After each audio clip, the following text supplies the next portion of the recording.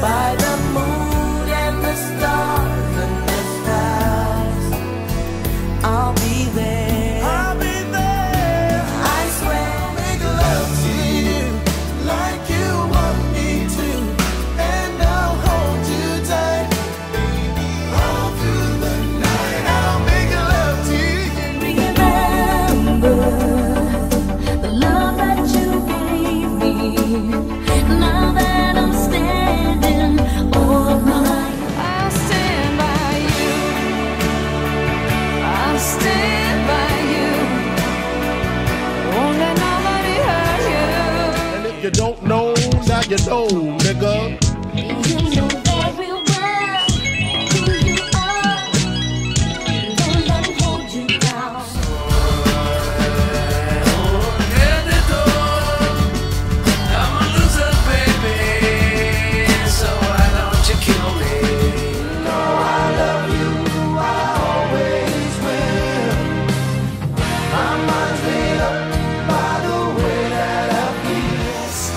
Mary Jane one more time to kill the pain.